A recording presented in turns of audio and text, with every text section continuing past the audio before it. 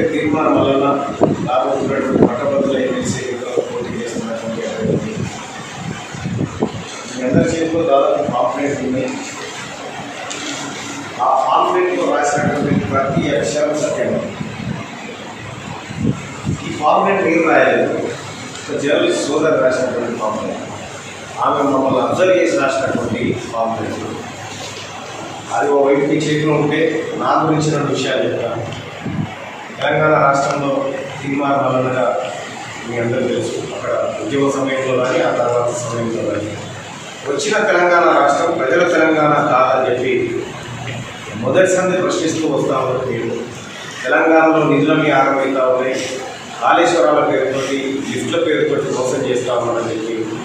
ఆ రోజు సమాజం అంతా మేము చెప్పేది నిజమేనా అని చెప్పి ఆశ్చర్యంగా చూసినటువంటి రోజు నుంచి ఏసు వీడు దొంగ అనే రోజు కనిపిస్తారని మేము ప్రశ్నించేటప్పుడు కేవలం ఒక్కళ్ళమే ఉన్నాం ఆ రోజు. ఆ రోజు కనుక కేసీఆర్ తలుచుకుంటే బహుశా వాయిస్ రేజ్ అయ్యేది కాదు. వీళ్ళు ఏం చేస్తారని అనుకున్నారు ఒక్కరు పోయి వాళ్ళ లక్ష్యం మందిని తయారు చేసింది ఇప్పుడు పరిస్థితి అర్థమైపోయింది ప్రజలకు కూడా. వాస్తవాలు కూడా మీకు అందరూ కళ ముందే ఉన్నాయి రోజు పేపర్లలో వచ్చేటువంటి వార్తలు వాటి వెనకాల ఉండేటువంటి మోసాలు ఆ కుట్రపూరిత వార్తలు ఇవన్నీ ముందుకు తెస్తూనే ఉన్నాయి సో ఇంత కఠిన సమయంలో నేను పాదయాత్రలు చేస్తూ తిరుగుతా ఉన్నాను ప్రజలను ఓట్లు అభ్యర్థిస్తా ఉన్నాను. ఈ సమయంలో నేను మీడియాను కూడా విమర్శిస్తూ ఉంటా. మీడియాను కూడా విమర్శిస్తూ ఉంటా. మరి వాళ్ళు ఎట్లా సపోర్ట్ చేస్తారు? మీడియా సపోర్ట్ చేయకుండా మళ్ళీ ఎట్లా చేస్తారంటే ఒక మాట. నేను మీడియా సమావేశం పెట్టి వాళ్ళకు ఒక వార్త చెప్పడం ద్వారా ఏం జరుగుతుంది? వాళ్ళు పత్రికలలో అచ్చేస్తారు అచ్చేసినటువంటి పత్రికలు మీరు చూసి ఓహో మళ్ళీ నాకు ఈ మాట అన్నాడా అని తెలుసుకుంటారు.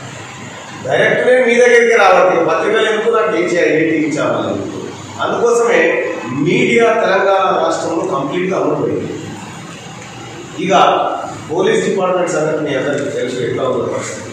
కేసీఆర్ కూర్చోమంటే కూర్చుంటే లేవంటే చేస్తారు విద్యా వ్యవస్థను సత్యనాశనం చేసింది. వైద్యం అయితే ఇక మామూలు అగాధంలో లేదు. ఈ రకంగా ఫిఫ్టీన్త్ ఫైనాన్స్ కమిషన్ చెప్పింది. వైద్య రంగం ఆగమైతే తెలంగాణలో ఈ రకంగా తెలంగాణ రాష్ట్రం తెచ్చుకుంది దేనికి? ఇప్పుడు ఉన్నదే పరిస్థితిలో? పరిస్థితుల్లో ఈ సమయంలో మరి నాలాంటి వాళ్ళు ఏం చేయాలి? ఈ ఈ ప్రజల పక్షాన్ని ఎవరో ఒకరు ప్రశ్నించాలి కదా. ప్రతి ఒక్క డిపార్ట్మెంట్ చెప్పుల కింద అంచుకొని ఈ రాష్ట్ర ప్రభుత్వం చేస్తూ ఉంటే ఖచ్చితంగా వాళ్ళ పక్షాన మాట్లాడాలి మేము. ఏదో ఒక ప్రజల కొంత వినిపించాలనే ఉద్దేశంతో స్టార్ట్ చేసి క్యూ న్యూస్ ఛానల్ పెట్టాం. ఇవాళ క్యూ న్యూస్కి సంబంధించినటువంటి ఛానల్ పైన హైకోర్టులో పిటిషన్ వేసింది ఎవరు? కేసీఆర్ వాళ్ళు ఏమని అంటే క్యూ న్యూస్ చేయాలి. ఎందుకు మూసేయాలంటే ఈ క్యూ న్యూస్ చూడడం వల్ల ప్రజల్లో అశాంతి పెరిగిపోతూ ఉంది వర్గాల్లో విడిపోయి కొట్టుకుంటున్నారు అనేది ఆ పిటిషన్ ఉద్దేశం ఆఖరికి జడ్జి గారి ముంగటికి వచ్చింది. రాగానే యాభై ఐదు ఐటమ్ వచ్చింది. రాగానే జడ్జి గారు చెప్పినటువంటి ఒకటే మాట పిటిషన్ వేసిన వాళ్ళు.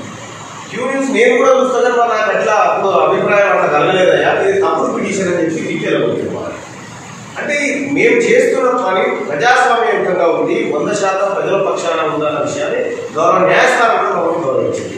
ఈ క్రమంలో ఇరవై ఒక్క కేసులు నా పైన పెట్టి మోపి తిరగకుండా చేయాలి ప్రశ్నించడం లేకుండా చేయాలి అని చెప్పి ఆస్తులు డబ్బులు ఇస్తామని ఆశ చూపించారు తర్వాత పదవులు ఇస్తామని ఆశ చూపించారు ఆ తర్వాత ఇంత లేడని కేసులు పెట్టారు ఇంకా ఇంత లేడని నా కాన్వాయ్ మీద అటాక్ చేసిన సంగతి మీ అందరికీ తెలుసు.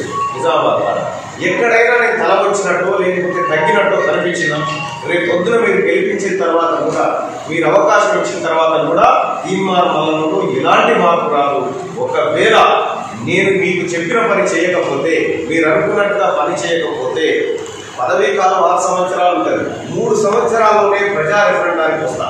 అయ్యా నేను మీకు చెప్పిన పనే చేస్తున్నానా లేదా?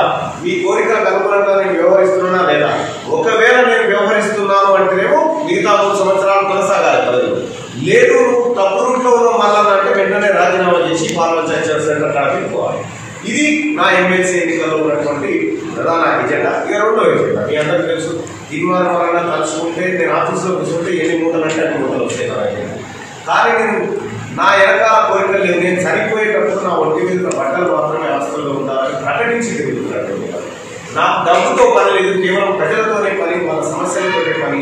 నేను చనిపోతే కేవలం ఒక లక్ష మంది తక్కువ ధరలు చావు కావాలని కోరుకుంటున్నాను.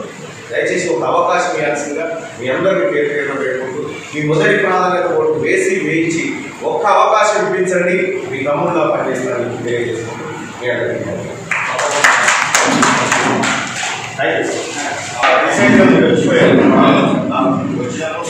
చూశాను నేను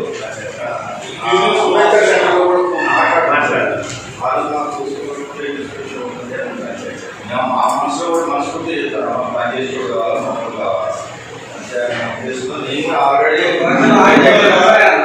వాళ్ళు ఉన్నటువంటి ఈ రాజకీయ పక్షాలన్నీ కూడా ప్రజల ప్రజల మీద మొదలుపెట్టి గెలిచి వారి మంచాన్ని చేరుతాను